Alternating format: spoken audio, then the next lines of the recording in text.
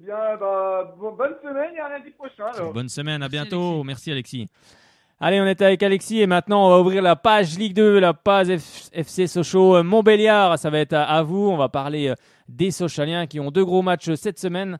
Et euh, le match contre Marseille euh, ce mardi et le match vendredi contre le Red Star. Et on va revenir sur la rencontre face à Amiens, bien évidemment. La Ligue 2. Eh bien oui, allez, on parle tout de suite. Alors on va parler euh, Ligue 2, mais on va déjà parler du, derby corse entre le Gazélec et l'AC Ajaccio. Je voulais revenir un petit peu là-dessus parce qu'il, ben, forcément, il y a encore eu euh, des incidents. Mais j'ai trouvé la réaction euh, du président de, de l'AC Ajaccio très bien. Il y a peu de présidents qui prennent les problèmes à bras le corps. Et il s'appelle Léon Luciani. Et vous allez écouter sa réaction. Il était voilà, il était interviewé justement par une radio euh, corse. J'ai pas pu retrouver justement ce qu'il a dit à, la fin du match parce que c'est voilà, pas forcément toujours évident de, retrouver euh, de retrouver euh, ce qu'il avait dit, mais écoutez un peu ce qu'il dit justement à cette radio. Que dire de plus? Le match en lui-même, ce soir, il compte peu en fait. Il compte compte peu. C'est derrière, c'est ce qui s'est passé après qui est plus grave et ou pendant. C'est ce qui s'est passé dans les tribunes et c'est le comportement de euh, de, cette, euh, de ce groupuscule euh, qui est qui est inacceptable et qui doit être banni, banni des stades. Donc nous, nous prendrons bien évidemment rapidement toutes les sanctions nécessaires et la décision et toutes les décisions nécessaires afin d'y mettre bon ordre et de ne plus vivre de tels comportements. Quels sont les moyens? Moi, je crois que je les, les ai pas, je les ai pas inventoriés les moyens. Je sais pas quels sont les moyens. On va regarder, mais en tous les cas, tous les moyens seront mis en œuvre. Tous les moyens seront mis en œuvre afin d'y mettre un terme. Donc à partir de demain, dès demain, nous prendrons bien évidemment toutes les décisions nécessaires afin de, faire, de faire manière qu'il n'y ait plus jamais ça. Parce qu'un stade de football, c'est pas ça. Et aujourd'hui, qu'est-ce qu'on donne là comme image? On donne quoi comme image? On donne une image, la Corse, c'est ça? Le football corse, c'est ça, c'est pas ça. Pour moi, c'est pas ça le football corse. C'est pas ça. C'est pas d'être aviné et de se croire. Euh, c'est pas ça. Bon, mais c'est tout. Et, on donne une image détestable. On donne une image détestable et ça, il est hors de question que ça continue. Hors de question. Eh ben, bravo à ce, président qui va prendre euh, le, problème à bras le corps. C'est vrai que la Corse, c'est pas ça, le football corse euh, non plus. Mais c'est vrai que bah, avec ce qui s'est passé à Metz, euh, bon, voilà, je voulais rebondir un petit peu là-dessus parce que j'avais trouvé le discours du président très intéressant. En tout cas, lui, il prend ses responsabilités et c'est une bonne chose car ils ont, voilà, ils ont banni un groupe d'ultra de, de l'AC Ajaccio. Donc c'est une décision voilà, une décision euh, pleine de, responsabilité et je voulais qu'on le souligne ce soir. Allez, on va juste euh, revenir avant d'accueillir justement euh, Bernard sur les, résultats de cette Ligue 2 avec Brest qui est allé battre Nîmes 2 buts à 1. Niort et Le Havre ont fait un, but partout. Le Red Star et Valenciennes 2 buts partout alors que le Red Star menait 2 à 0. Bah, justement, un petit mot juste pour parler du Red Star avec justement l'entraîneur qui a été démis de, de, ses fonctions, hein, Rui Almeida. Euh, le président euh, du Red Star, euh, Patrice Haddad, il a tranché. Il n'a pas attendu la trêve hivernale pour opérer le changement. Et bah, ce lundi, hein, le club odonien, qui était promu hein, l'an passé en, Ligue 2, a annoncé que Rui Almeida était relevé de ses fonctions d'entraîneur.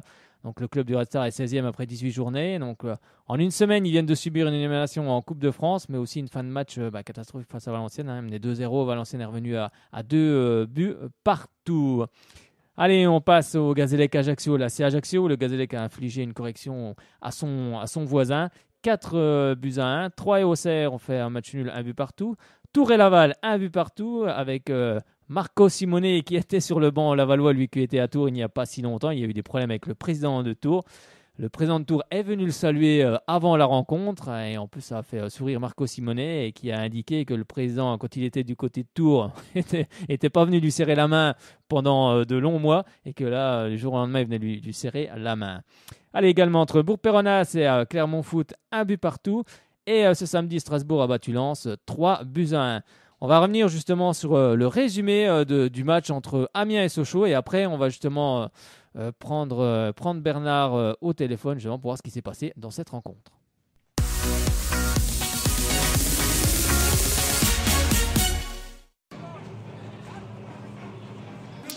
C'est l'un des chocs de cette 18e journée de Dominos Ligue 2.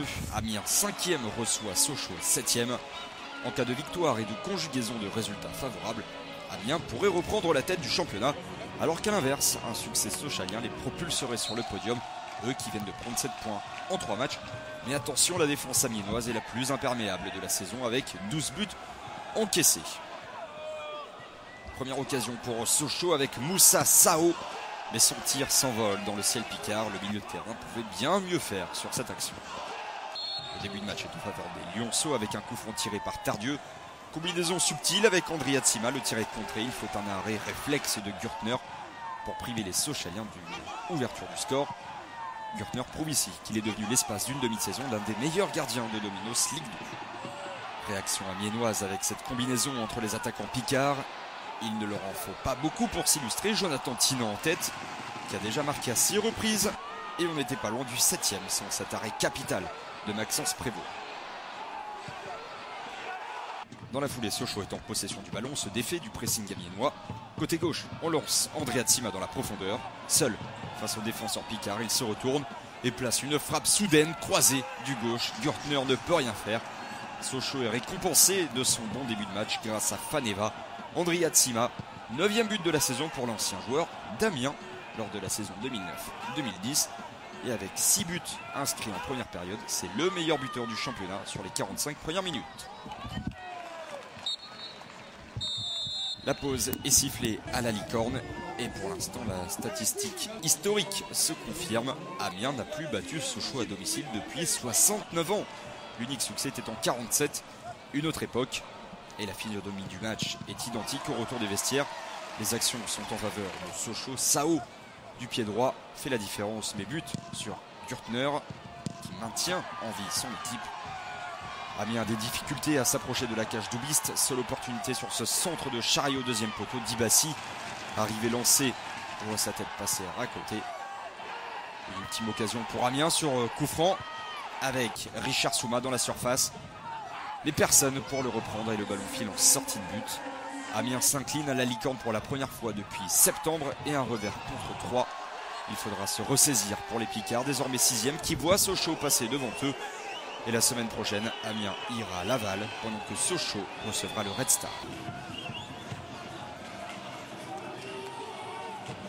Eh ben oui, hein, une, belle, une belle lecture. Eh ben on va recevoir justement euh, Bernard. Allô Bernard?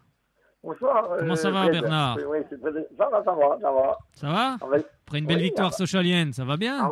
Ah, oui, oui, oui, avec la victoire. Mais on doit gagner ces matchs largement plus, quoi, parce que Sao, il a, il, a, il a, deux ou trois opportunités. Quoi. Oui, ah, déjà 1-0, c'est déjà pas mal. Déjà qu'on prenne 3 points. Voilà, voilà. C'était pas facile. Comme je dis, l'essentiel, c'est les 3 points. Oui, c'était pas évident face à une, une, belle équipe d'Amiens qui était une des meilleures défenses du championnat et cinquième, euh, en cinquième position en plus. Oui, oui. Ah oui, ils ont, ils, ont une belle équipe, ils jouent, ils jouent bien les contre à fond. Hein. Bah, ils jouent, surtout quand ils se projettent, ils, partent à 5-6.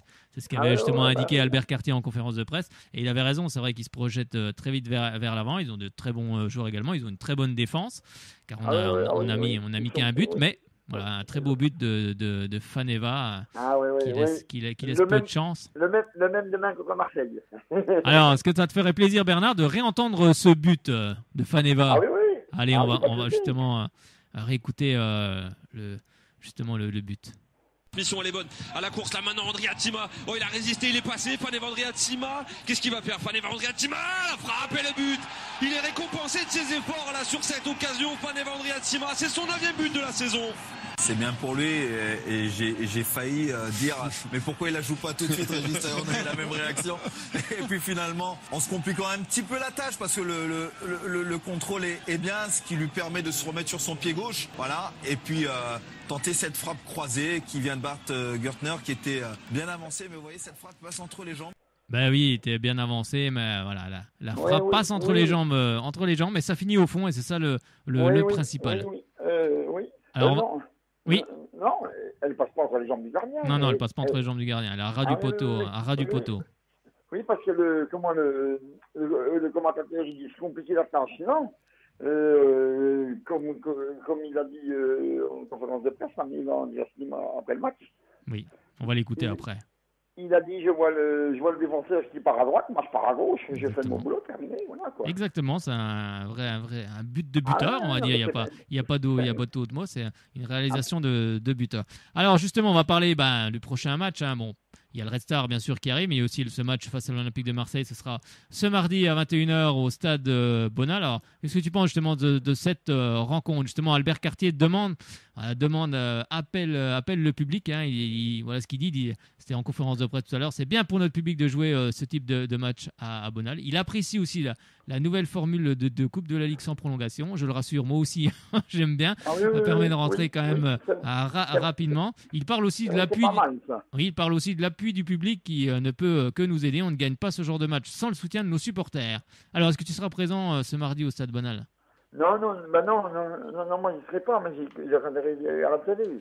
Parce que moi, parce, parce que moi je du matin, je me lève à, je me lève à 3h30, donc... euh, Bah oui, c'est- compliqué, c'est pas évident. Après ça fait tard, mais euh, j'y serai vendredi pour le de toute façon. Bah oui, le Red Star, un match, euh, un match Ah oui, important, oui. Ah comme l'a souligné Albert Cartier. Il a dit que c'est notre match aussi, notre match à nous de, de Ligue des, des Champions. Bon, on espère, on verra, on verra ce qui, ce qui se passera, mais ce sera, il va falloir euh, gagner au- aussi, euh, aussi cette rencontre. Eh ben Ah merci. ça, Oui, tu voulais rajouter quelque chose? Oui, ça, c'est- oui, oui c'est sûr, ça, ça serait bien, pour, ça serait bien de ga- gagner notre restant, parce que j'ai vu qu'il y avait, euh, il y avait Lens, bon, un petit match nul, et puis on pourrait être euh, sur le podium à l'après. pourquoi pas. Attention, attention au choc psychologique du côté de Red Star hein, qui s'est séparé de son entraîneur euh, Rui Almeida. Il faudra faire attention également à, à ça. Oui, oui, oui, oui, oui, oui. On sait toujours que Ah bah, oui, les joueurs ont. je, je- je- je pense que ça va être le, match, le, le dernier match de l'année à domicile. Je pense que show va vouloir finir en montée, je pense. Bah, je pense aussi. Je pense que les joueurs auront, auront à cœur aussi de terminer en bouteille. Puis ça serait une belle semaine. Ouais, Élimination ouais. de Marseille. Sochaux gagne vendredi soir.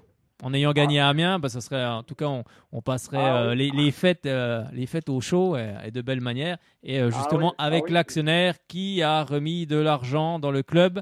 Voilà, et non pas 3 millions d'euros et apparemment 6 millions d'euros, donc le double. Ah, bah, Et il a remis, il a remis, cool. il a remis de, de l'argent et apparemment on parle de deux euh, renforts offensifs qui arriveraient du côté de Sochaux, donc c'est-à-dire un milieu offensif et un attaquant.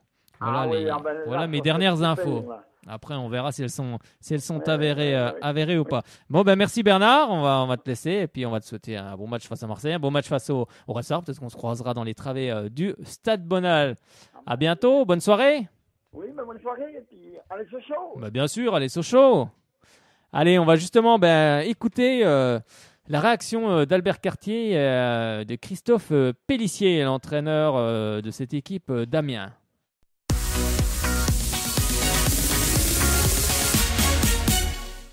Oui, parce que, parce que le match a été difficile, mais on s'y attendait.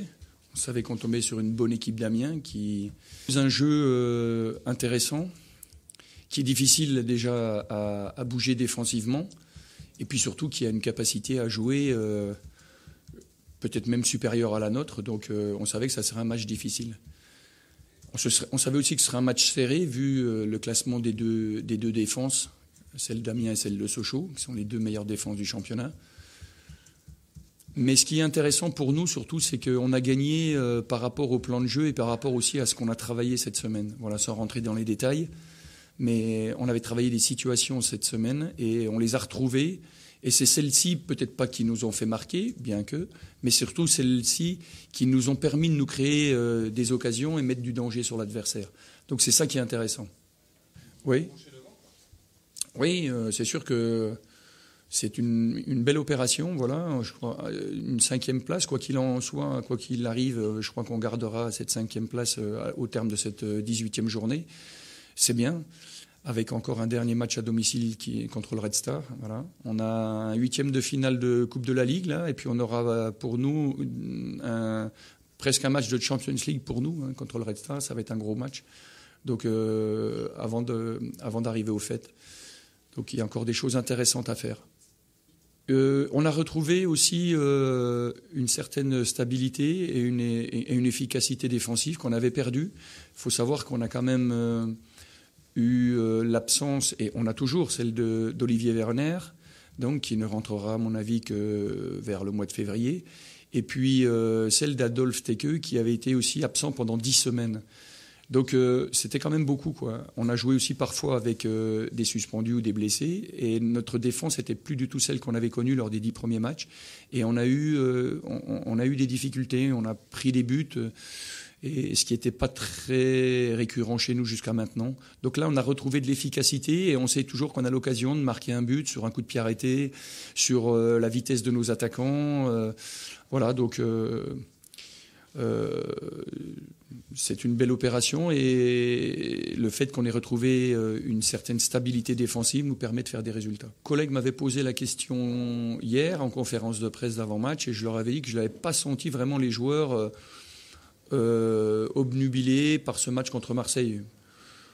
Non pas qu'on a l'habitude de jouer contre Marseille, mais c'est pas, pas. Mais je, les sentais bien dans leur dans le, dans le match d'aujourd'hui et ils étaient concentrés dans la semaine. Et voilà. Donc euh, je n'avais pas de, de, crainte sur, euh, euh, sur, euh, sur l'envie, sur le dynamisme et l'enthousiasme qu'ils auraient ce soir. Après, euh, ce que je craignais surtout, c'est la qualité, bien sûr, du jeu d'Amiens. Tout, ce qui, tout ce qui amène une touche négative pour le FCMS, forcément, ça, ça c'est pas quelque chose qui me plaît, c'est pas quelque chose que j'ai envie de voir, voilà. Euh, mais je sais que c'est un club solide, c'est un club sain, c'est un club avec des, des valeurs. Euh, et euh, cette équipe va montrer, euh, ses joueurs, ce club, euh, Philippe, le coach, euh, qui est mon ami, montrera avec l'entourage, l'environnement du club que les dérapages peuvent arriver on peut pas toujours, on peut pas tout maîtriser, il faut le savoir. Faut, voilà, c'est facile de dire ouais, c'est de la faute des, des dirigeants messins, c'est de la faute du club. Oui, mais c'est difficile de canaliser 20 000, 15 000, 20 000 personnes. Mais en tout cas, ce club, sur ses valeurs, sur ce qu'il a déjà fait et sur ce qu'il fera encore, euh, démontrera que c'est un club sain avec des supporters sains. Voilà. Euh, la majorité, la grande majorité, pour ainsi dire la plupart, 99,9% des supporters messins sont des gens sains et qui aiment le football, euh, qui respectent le jeu. Et, ils sont tous, parce que moi j'ai des contacts aussi, des supporters m'appellent, m'envoient des textos pour me faire part. Ils sont tous touchés par ce qui s'est passé. Voilà. Ils sont déçus, touchés, et ils n'aiment pas cette image que l'on donne de leur club. Voilà. Donc, euh, bien évidemment que c'est des incidents qui sont assez graves, mais je pense que le temps aidera le FCMS à, passer au-dessus de, voilà, de cet incident-là, qui, de toute façon, est regrettable, on le sait tous et on le dit tous, il n'y a, pas, a pas à discuter. Non, c'est sûr que j'avais dit euh, en préparant ce match à, à mes joueurs que c'était pratiquement deux équipes euh, jumelles qui se rencontraient avec, avec euh, les mêmes forces hein, et que voilà, on savait qu'avant avant le match que l'équipe qui allait ouvrir le score allait faire un grand pas parce que les deux équipes euh, ont des qualités défensives, euh, des qualités collectives. Euh, Sochaux l'a montré. Ils ont ouvert le score. Après, ça a été très dur pour nous. Après, je suis pas satisfait moi de, notre première mi-temps parce que je trouve qu'on a, a, on a, manqué de, on a manqué d'intensité, on a manqué d'engagement pour pouvoir les mettre en, difficulté. On s'est bien repris sur la deuxième. C'est vrai qu'on a eu plusieurs situations. On aurait pu peut-être euh, égaliser, mais, mais voilà, on savait qu'on avait affaire à un bloc euh, socialien très, solide. Ils l'ont montré ce soir. Bah oui, ils l'ont montré ce soir. euh, Nos, socialiens, ils sont allés s'imposer du côté d'Amiens, un but à zéro. On va voir aussi la, joie des socialiens avec les supporters. C'était euh, assez sympa, donc bravo à tous ceux qui ont fait le, déplacement euh, du côté du stade de la Licorne.